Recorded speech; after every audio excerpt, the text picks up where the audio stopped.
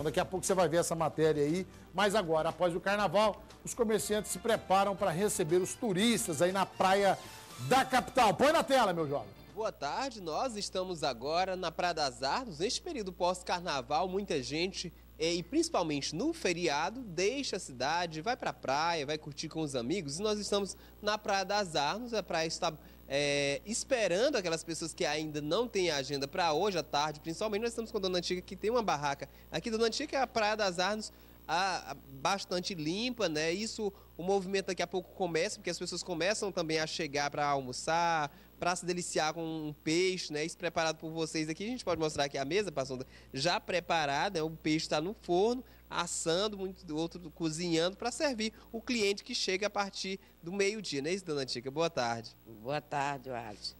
É, estamos aqui na expectativa, de, esperando quem estiver em casa, quiser saborear um peixinho, que venha na Praia das Armas saborear junto com a gente, que estamos aqui pronto para receber a, a, aqueles que estão em casa que não tem um local para ir.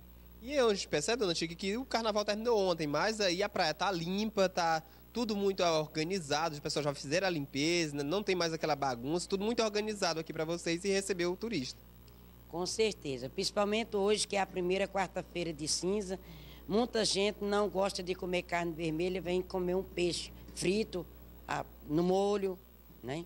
Então, estamos esperando. E gente de todo lugar, né, dona Tica? Não tem, de todas as regiões da cidade, de outras cidades que estão aqui em Palmas. É, com certeza, principalmente a clientela que sempre vem todos os dias nessas datas.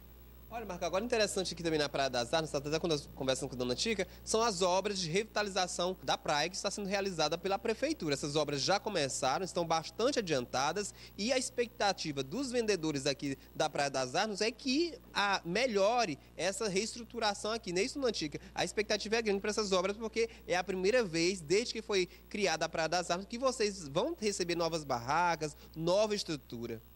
É, vai ser muito bonita, viu, Alice? É a, é a primeira coisa que nós vai ter de maravilha dentro dessa praia é os restaurantes, é os comércios que estão fazendo aí.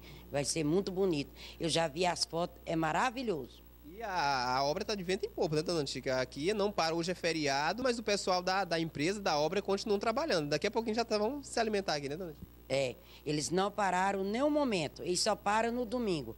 Feriado eles estão indo diretão, que é para entregar as obras mais rápido possível aqui da Antica. E para você que está sem agenda após o almoço, a Praia das Armas é o lugar certo. Muita gente chegando por aqui. Vocês estão vendo a imagem de pessoas se fotografando, olhando a paisagem e aproveitando as belezas naturais da nossa capital, que é a Praia das Armas. Voltamos aos estúdios do Balanço Geral.